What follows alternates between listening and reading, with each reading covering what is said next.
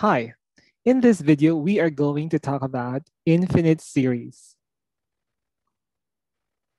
First, let's get to know some of these terms. Sequence. Sequence of numbers is a succession of numbers formed according to some fixed rule. Thus, 1, 8, 27, 64, and so on is a sequence having the rule that nth term is by n raised to 3. On the other hand, series is the indicated sum of a sequence of numbers. Thus, for the sequence u sub 1, u sub 2, u sub 3, and so on, the corresponding series is given by u sub 1 plus u sub 2 plus u sub 3 plus ellipsis, and so on. Now, there are two types of series. The first is the finite series. A finite series is a series in which the number of terms is limited. And if the number of terms is unlimited, it is known as an infinite series. General term of a series is an expression involving n such that by taking n equal to 1, 2, or 3, one obtains the first, second, third, and so on term of the series. Let's have some examples. Problem number one. Find the first three terms and then n plus one term of the series whose nth term is n minus 1 over 2n plus 1. For our solution, let us write our nth term, u sub n is equal to n minus 1 over 2n plus 1. Now here, since we are asked to solve for the first three terms and the n plus 1 term, we are going to replace n by, for our first term, n equal to 1 our u sub 1, or the first term, is equal to 1 minus 1 over 2 times 1 plus 1. Our first term is equal to 0. Now for our second term, where n is equal to 2, we have, so 2 minus 1 over 2 times 2 plus 1. Our second term is 1 over 5. And for the third term, where n is equal to 3, this is 3 minus 1 over 2 times 3 plus 1. So our third term is 2 over 7. Now for the n plus 1 term, replacing n by n plus 1, we have the n plus 1 minus 1 over 2 times the quantity n plus 1 plus 1 is n over 2n plus 3. Now, the first three terms and the n plus 1 term are 0, 1 over 5, 2 over 7, and n over 2n plus 3 as our n plus 1 term. Now, if you are asked to express your answers in terms of the infinite series, so taking note that the infinite series u sub 1 plus u sub 2 plus u sub 3 and so on, then the infinite series will be 0 plus 1 over 5 plus 2 over 7 plus, you have the ellipses. Our nth term is n minus 1 over 2n plus 1 plus the n plus 1 term, which is n over 2n plus 3. Let's go to example number two. Find the first four terms and the n plus 1 term of the series whose nth term is 2n or 2 raised to n over n times n plus 1.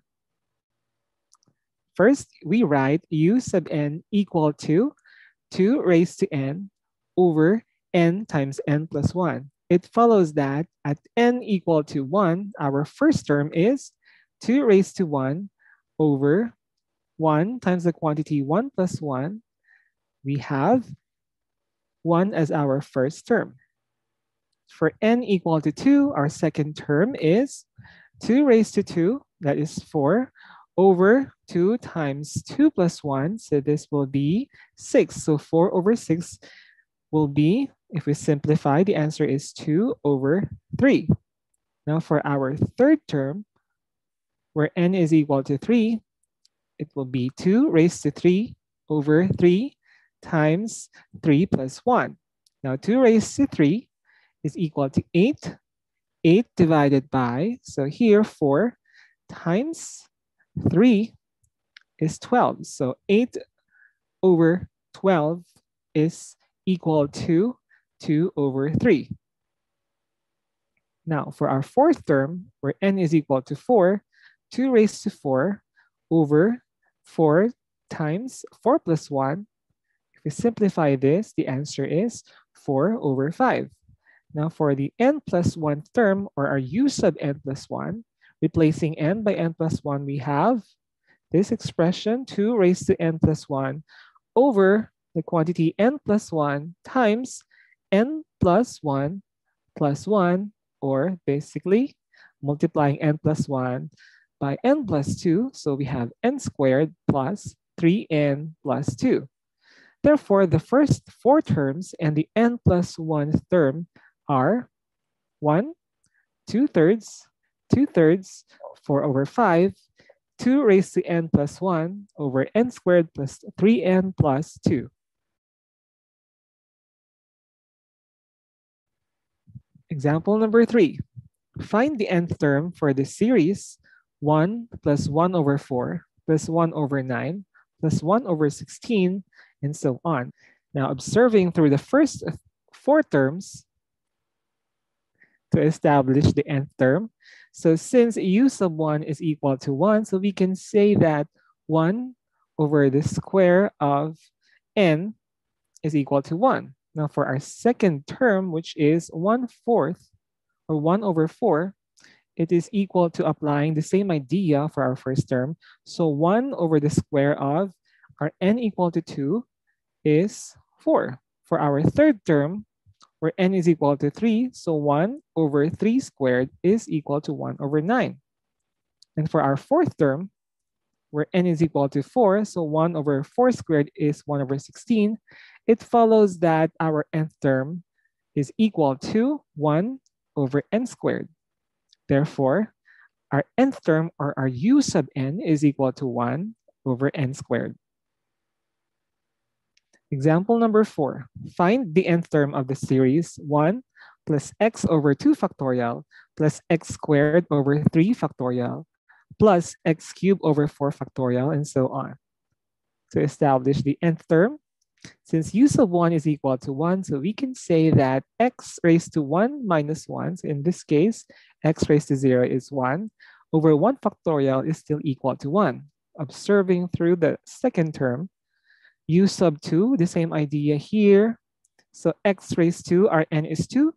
So 2 minus 1 is 1. We have x.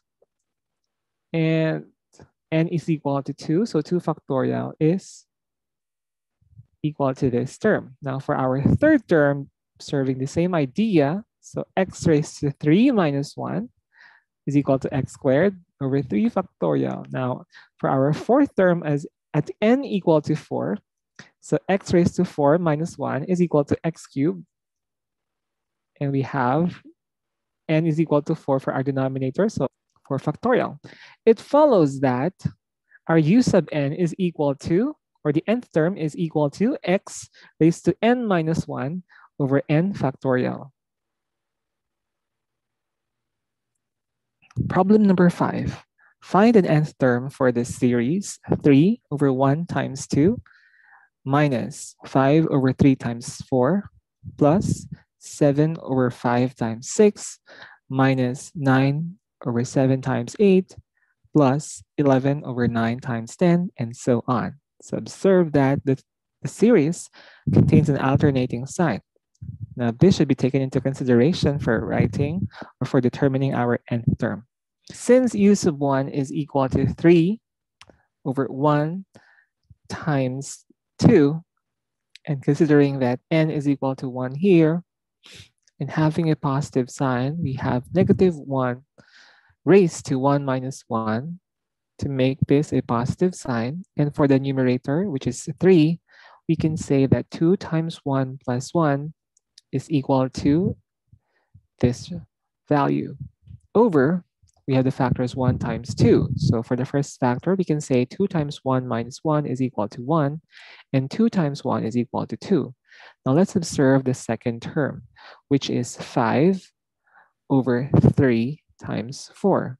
Now for the sign negative, we can say that negative 1, the same idea for our first term, negative 1 raised to 2 minus 1 will give us a negative sign. And for the numerator, which is 5, 2 times 2 plus 1 is equal to 5. And for the first factor in the denominator, we have 2 times 2 minus 1 is 3. 2 times 2 is 4. Observing the same idea for our third term, 7 over 5 times 6. So the sign should be positive. So we can say negative 1 raised to 3 minus 1. 3 minus 1 is 2. Negative 1 raised to 2 is positive. So the sign here is correct.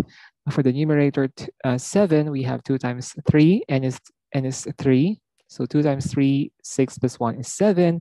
And for the denominator, which is 5 times 6, for the first factor, 5, 2 times 3, 6 minus 1 is 5, correct? And 2 times n equal to 3, so 6, correct. Now for the fourth term, which is 9 over 7 over 8, and for the sign negative, we have negative 1 raised to 4 minus 1. 4 minus 1 is 3. Negative 1 raised to an odd number is negative, so the sign is correct. 2 times n equal to 4, so that's 8 plus 1 is 9. And for the denominator, it should be 7 for the first factor. So okay, 2 times 4 is 8 minus 1, it's 7. 2 times 4 is 8. And for the first, fifth term, positive signs, a negative 1 raised to 5 minus 1 is positive. For the numerator, 2 times 5 is 10, plus 1 is 11. Denominator should be 9 and 10, so 2 times 5, n is equal to 5, so 10 minus 1 is 9, and 2 times 5 is 10.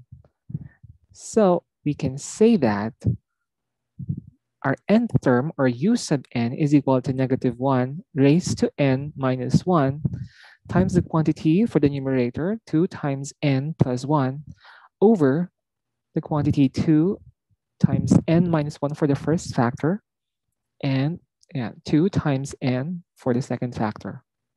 Therefore, this is our nth term. Negative 1 raised to n minus 1 times 2n plus 1 over the product of 2n minus 1 and 2 times n.